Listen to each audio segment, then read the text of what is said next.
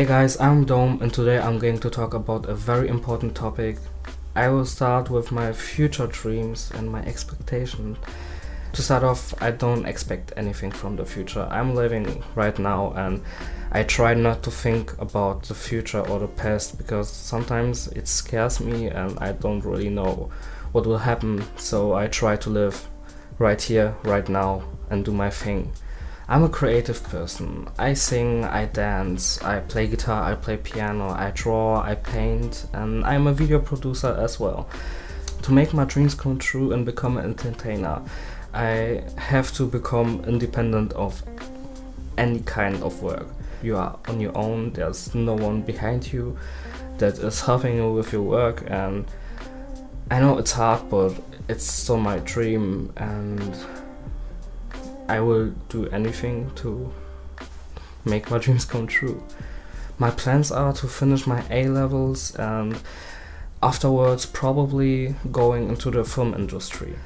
But there's also a plan B and this plan is probably going to help me for my independency and right now I'm studying for a dance teacher diploma and I have really high hopes for that because the manager of my dance school says that I have the chance to become a dance teacher. And it's also a dream of mine to teach people something that I have learned and not only to teach them but to help them on their way. And that is also a really important aspect for me to have this creative uh, release. And some of you may also know I have a YouTube channel and it seems like it's working and there are more and more people watching my videos and it's really making me happy because it shows that you can become everything if you really want to and if you really work for that. This is also a transition into the next topic. Our generation is a really unique generation compared to the past ones. Our generation grew up fully surrounded by modern technology we all grew up into the social media world and we are all using this to globalize with the whole world. I know many people complain about this because we don't really talk anymore to each other in the real world, but on the other hand, we are really connected with each other. I have friends all over the world and I chat with them day for day, and it's really impressive how the world globalizes more and more day by day and I won't lie to you there are many bad aspects to this topic but it's really important to globalize to become one society living in freedom. You have to know each other. As an example I have to know which opinions a person has that is living in India or in China or even in America so we know what we can discuss about, what we can change in the world.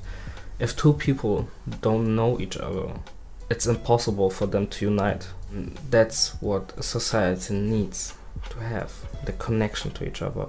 And to transition this into the next topic, I'm not only shaped by my parents or by my family or by my friends, we are living in a society. We all are shaping each other. We have our values and we have our norms and we all are adjusting to them. Only if we adjust to our society, we can live an unproblematic life. Our society isn't perfect. Many people are excluded from our society and we have stereotypes that are making many people feel not included that's something that needs to change but I feel like we're going in the right direction right now. There are things happening around the world that aren't good for our society, but mostly it's about the older people. Sadly, the older people make choices for us. Looking at our generation, I think there are many creative minds that want to live in freedom my identity is also shaped by the choices I made in my life. That's also something that people forget sometimes. We are responsible for ourselves. I'm responsible for the choices I make. And now we're heading to the last point of this whole video. We are responsible for the problems that we will have in our future. We aren't responsible for everything. The previous generations did also things that aren't good for our planet and our future. But it's our choice to change that. The human being is its own biggest enemy. We are trying to make our life as easy as possible, but sometimes we forget that we destroy other people's lives for that and we destroy the planet. Right now, our planet is the only place we can live. Think about that the next time you buy a $3 shirt from Wish or eBay. I don't want to make everything sound negative, but it's your choice to change our world. And if we don't work together, we will be our own downfall. And that's not a place I want to live and you don't want to live either. I hope you enjoyed this video and see you.